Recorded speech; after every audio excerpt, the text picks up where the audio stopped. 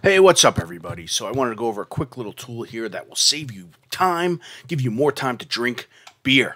So, I have the sequence here, and you know, in theory, imagine this came from all different sources. Some of it's offline, maybe it's on different drives, all that stuff. Just in case you don't know that, this hamburger menu down here in the left, uh, there's something called clip color, and you want to have this checked I have this offline check that shows all the clips with this huge red color, so I can immediately tell that it's offline. So this clip is offline, and if I hit this button right here, find bin, it'll say this bin, Steve stuff somebody made is not in this project to edit with this clip. Uh, basically, there's no way I could find this clip unless I could somehow find this Steve stuff bin. But say I don't want to do that, I don't know how to do that what I would do is I'm in my first monitor here. I would make a new bin, and let's call this my initials BT find clip. I don't know. This is a really temporary bin.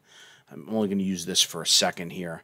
And I'm going to alt drag that sequence into this bin. So it's the only thing in this bin. Now what I'm going to do is I'm going to go to this hamburger menu right here on the bottom of the bin. and I'm going to hit set bin display.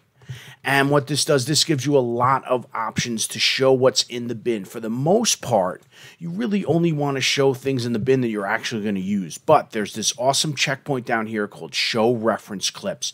Now, if I check this and I hit OK, it's going to show every single source, media clip, whatever you want to call it, in the bin right here. So everything that was in this sequence, now you can see it in the same bin. You don't have to go searching through other bins. So once I realized this, I was like, wow, this is awesome.